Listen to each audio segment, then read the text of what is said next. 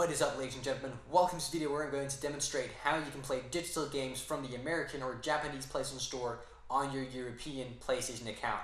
And that will of course also work the other way around, that you can download digital games from the European Japanese PlayStation Store and play that game on your American PlayStation account.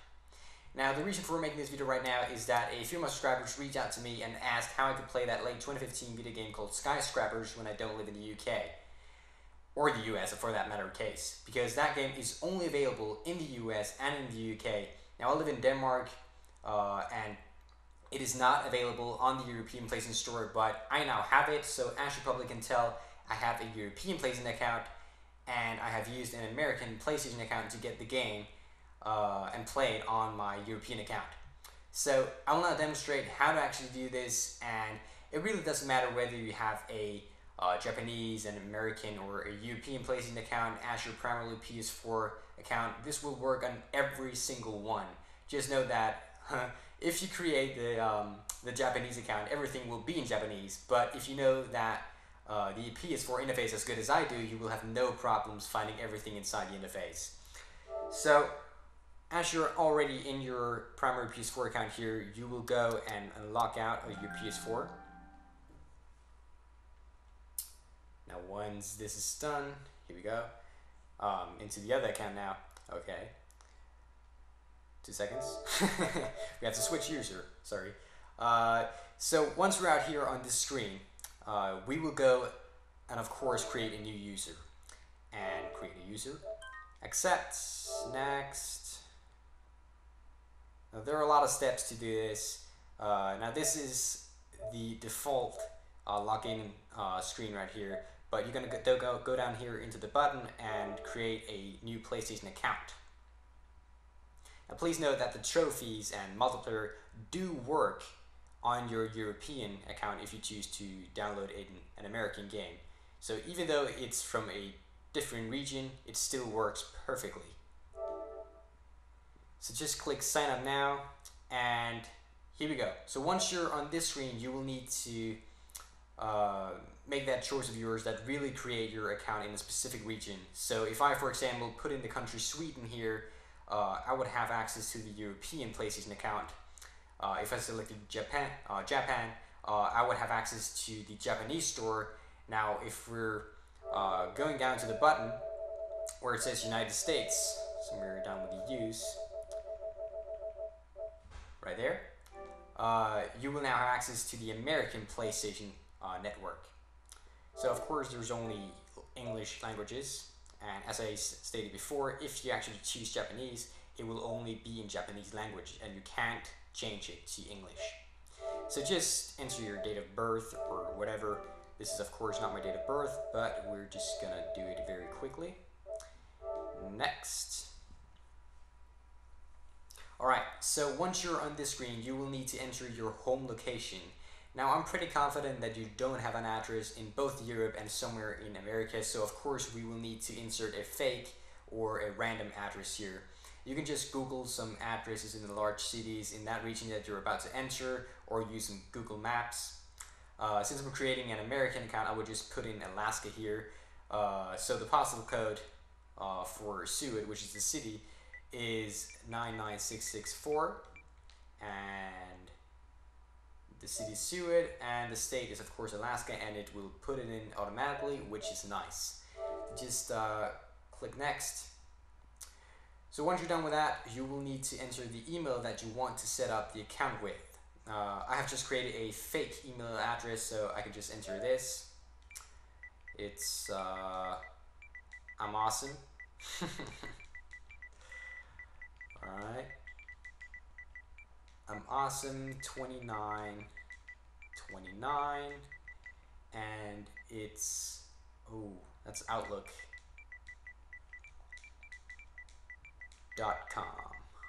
Here we go. And password, uh, well, okay, uh, let's just say KKUU uh, 4422. So what did I say? I said KKUU 4422. All right, let's click next. All right, so just choose whatever fits you here. Uh, online idea, you can just suggest one. You don't really need this unless you're actually planning on playing on your American or European uh, account. First name, blah, blah, blah, blah. Good game, good game, good game. Here we go. KKK. Oh, that, that's unfortunate, sorry. Um, Alright, so it doesn't matter with this. Just skip it. Confirm, confirm, confirm. Confirm. Alright, remember to accept these terms of user agreement. Alright, so you will now get an email. I will just go here and uh, and confirm it. I will get an email right in a second. I got it right now. Verify now. And thank you. You have successfully verified your email address. I'm awesome2929. Yes. So click already verified. Alright, it is now verified, which is good. Alright, uh, fuck Facebook.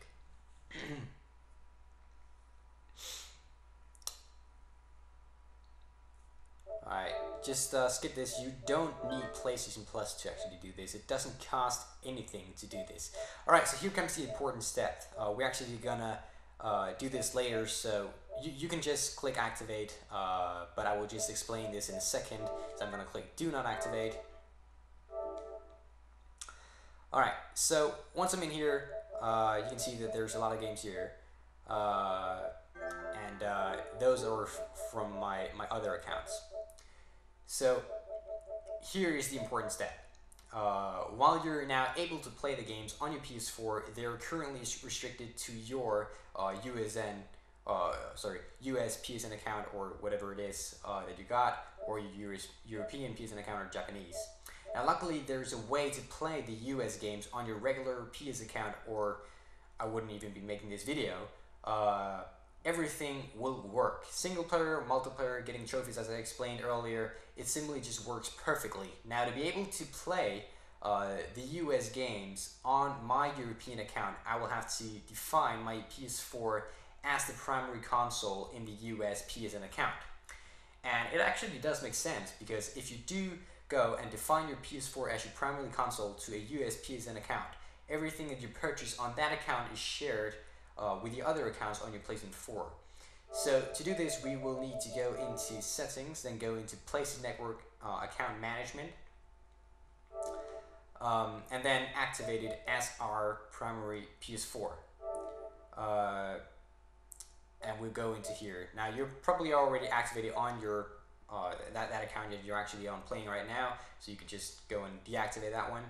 Uh, and I will of course need to go and activate this one now, I don't want to do this uh, with this account since I already have an American PSN account, so I will just quickly log into that first. It is exactly the same as this account. It's also uh, American, and this is the one that is American. Don't have PS Plus on it. This is actually the, account that I bought Skyscrapers on. Um, now, I will just go and define this uh, uh, define it as my primary PS4. So go into PlayStation Network account management as, before and activate as your primary PS4 and just say activate. Now it's already activated because I didn't activate it before, so no worries. But if we'll activate it here, it's gonna be there. So um, that is actually it for making all these things. So if we'll just quickly go into the PlayStation Store, uh, we can just find a game that we're sure of is not on the European. We can just take that Skyscrapers once again, and we can see that it's here. So we actually got a confirmation on that this is actually uh, the American PlayStation Store. We see Skyscrapers right there. We can just play with another game that I'm pretty sure isn't on the uh, European PlayStation Store uh, which is Spelunker World. So let's just go here.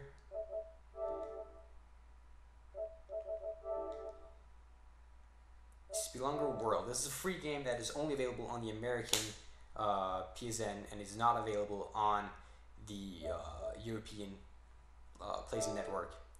So if we just go here and, and download it, I'm not quite sure if there's enough space. That would be a pretty big fail. But uh, yeah, it does, it does work. So it's downloading right now. Yep, but it does rack up 11.6 gigabytes of my hard drive disk. But as you can see right here, it is right there. So yeah, it will take 39 minutes. But uh, I've already downloaded Skyscrapers from the American uh, PlayStation Store, so we can just go into my European PlayStation Store and see if uh, the game is there and if I can actually play it and obtain trophies from it. And also play the multiplayer, of course.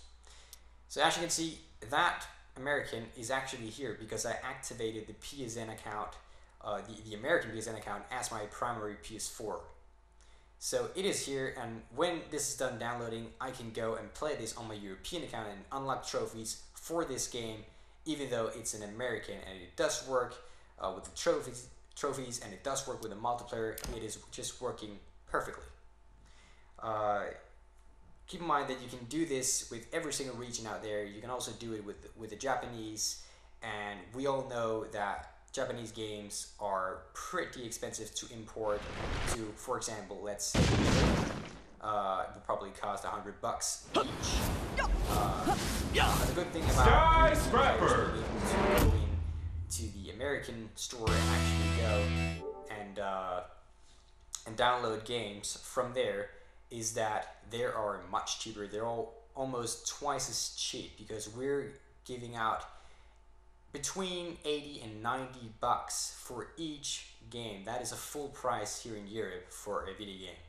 Uh, where it is in um, on the American PlayStation Store, it roughly costs uh, between 40 bucks and 60 bucks. So we will uh, get a huge discount on that, and we can just download and play it on a European by doing this. I'm not quite sure if uh, Sony is gonna fix this, but uh, this is actually coming in pretty. Uh, th- this is this is pretty handy. Uh, it's it's it's awesome that you can go and, and do this because there are a lot of games that aren't available on the different kind of re- regions that are only exclusive to one region, and you can go and play the multiplayer and the, unlock the trophies. So uh, thank you guys so much for watching. I really hope that I helped you. And if you have any questions, feel free to leave them down in the comment section below, and I will do everything I can to help you. Bye.